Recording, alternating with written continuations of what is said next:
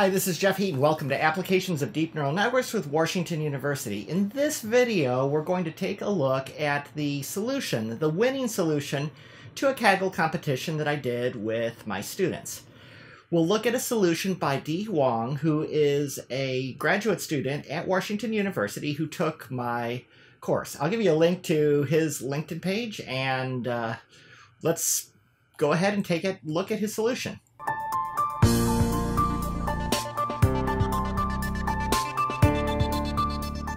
So this competition in Kaggle, I had the students look at Minecraft images. I had a GAN generate a whole bunch of Minecraft images that I trained it just by running around like crazy and uh, capturing a bunch of video and taking those individual frames. And then we look at the difference. Can you tell the difference between a real Minecraft image and a fake one? Not all of them are so easy. I have images from at night. Can you tell the difference? The important thing is can you create a neural network that tells the difference?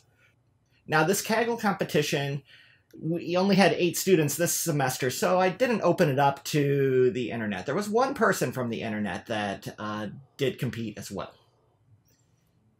So let's go ahead and have a look at the solution. Hi everyone, my name is Di Huang and now I'm a master student in the program Information System Management. And today I will give a presentation on my solution on this Kaggle project. So first, let's give you an overview of this project. Uh, the task of this project is a binary classification and the data is all the image data, specifically is the Minecraft picture. And the real Minecraft images are collected from the game while the fake Minecraft images are generated by the game. Uh, the original image has and width with 1024 and it has RGB 3 channel. Uh, the evaluation matrix for this project is log loss. And well, my solution can be divided into three phases. So let's start started my phase. So in the phase one, uh, I built the CNN model from scratch uh, we, along with the image augmentation part. Uh, you can see the uh, structure of the model here. Actually, the model, the structure is the same way the professor started note here because I think it is very, it is very, it is very good. What I make a difference is that uh, in the input layer, I resize the image to 128 and 128 height and width. So because I want to use, I want to train this neural network fast and try different image augmentation. And also in the train during training, I set the batch size to 100. During the uh, image augmentation trial, I have tried uh, these common uh, augmentation strategies such as uh, horizontal, horizontal flip, vertical flip, uh, rotation, brighten, uh, zoom in, and only the from experiment, uh, only the horizontal flip will boost the model. And you know, uh, data augmentation has some side benefits. It is kind of, it can function kind of like a fight against overfitting because you can send, like send the, you can feed the neural network with image from different perspective. And so I use horizontal flip as uh, image, that's the only image augmentation in my phase two. So here is my phase two. In phase two, I use uh, transfer learning. Uh, the first pre-trained model I use is ResNet 50 for the input for the input shape of this pre-trained model, which is 256. Uh, actually, I have tried different uh, different sizes, different resize strategy. And uh, 256 is, uh, is the best choice for me. Connect, connected with the output layer of the base model, uh, I use a global max pooling layer.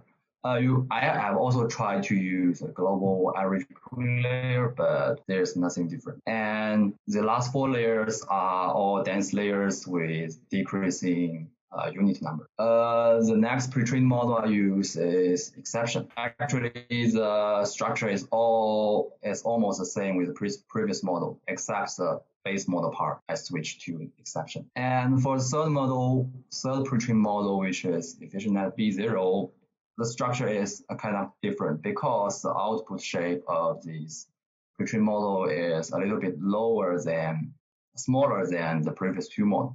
So I only use three dense layers in the uh, in the last as as, as my last layer. Uh, I have also tried to uh, initialize the weight randomly which I didn't uh, initialize. Uh, but the random initialization for the model will give me very bad result. And I also have tried to freeze some part of pre-trained model. But yeah, unfreeze or make all the layers of the pre-trained model to be trainable can give me better result. Uh, so for the hyperparameter I use here is that uh, the optimizer is Adam and the initial learning rate is 10 to the negative 5.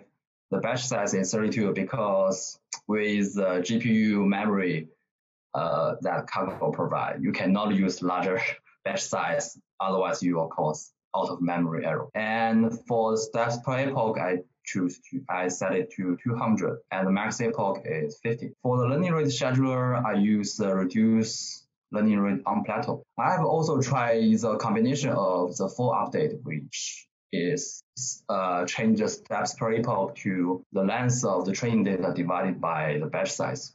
And uh, with this with this uh, full update strategy, the learning rate scheduler I use uh, warm-up learning rate with the exponential learning rate decay. Uh, both these two uh, update uh, strategy uh, works very well. But for the strategy I use here, it is a little bit faster to train. But it is just a little bit. Uh, for the monitor, I use a model checkpoint, uh, which I store all the models during training because sometimes you have a very you have a lower score in the epoch for example, epoch 48, but it is just you overfit the validation data. So sometimes you can pick uh, the model which have a little bit higher loss in the previous 20 or 10 epoch that will give you a better result on the leaderboard. Uh, for the early stopping, I set the patience to be 10. So in phase three, I use the ensemble and the value clipping. Uh, you can see from this form that all the values here are the validation log loss, which is approximately 20% of the training data. And for the clipping strategy, I use the low bound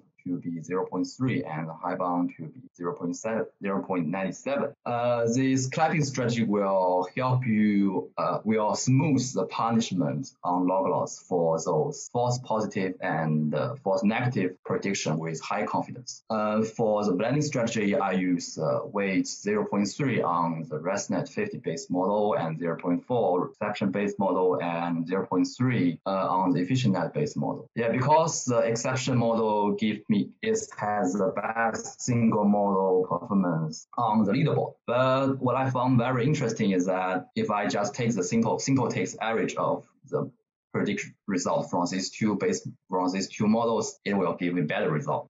Last, I want to share uh, some thoughts of myself and maybe and some future work I think I need to do. Uh, in this project, I didn't utilize TPU, yeah, because of uh, time limit. I need to, yeah. So with C, with TPU, you may uh, train it, train the model very fast because you can have a larger batch, batch size during training. And sometimes larger batch size may give you better model performance. And also, you can see I have used three pre-trained models uh, in the phase two, but actually I didn't go very deep to the structure of this model and the idea behind this model. So I just use them as a black box some kind. So I think I may need to like uh, search the internet and read some blogs that explain these models. Yeah, because sometimes it is not very easy to just read the paper and understand everything. and from my uh, past experiences in the natural language processing tasks and like competitions, you know, BERT and the models in the transformer family beat everything.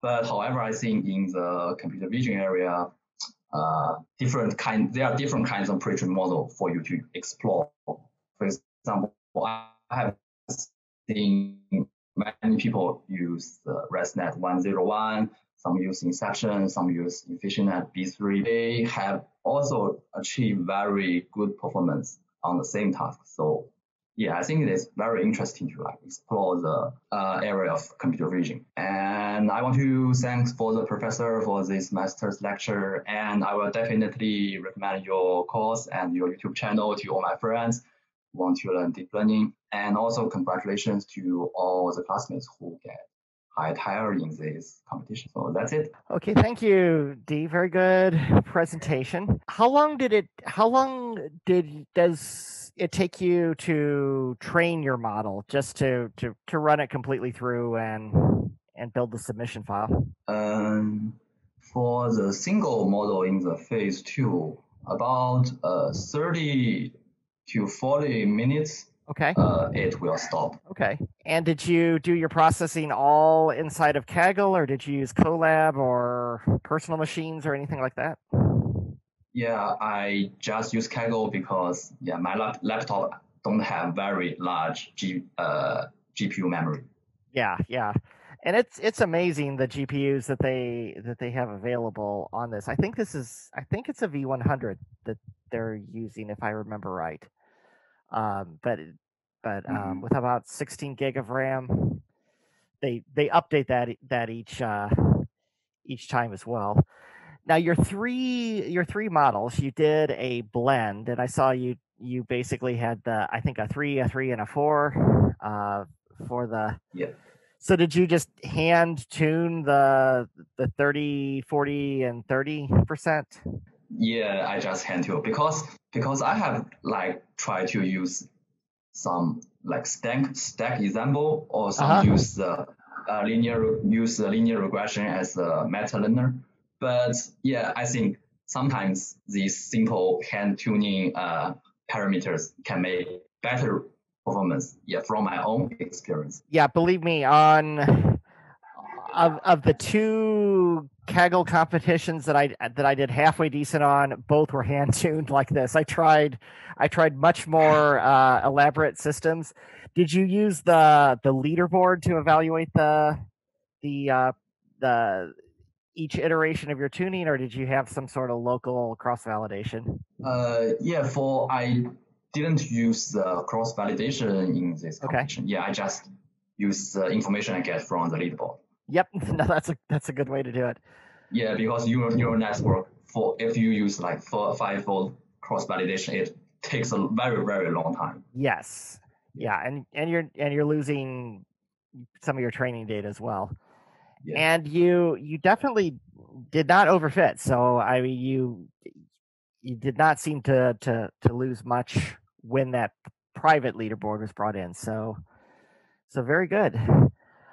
Now you, you I've I've noticed in Kaggle you're ranked as a as an expert. What what other area have you participated in in Kaggle? Was it notebooks or data sets or competitions? Yeah, it's the notebook. Okay, very good. Thank you for watching this video, and if you're interested in this course, all of the material is available on YouTube. I've also got links to the Kaggle competition, and Di's notebook has complete source code available to take a look at his solution. Thank you for watching, and if you want to see more, please subscribe to my YouTube channel.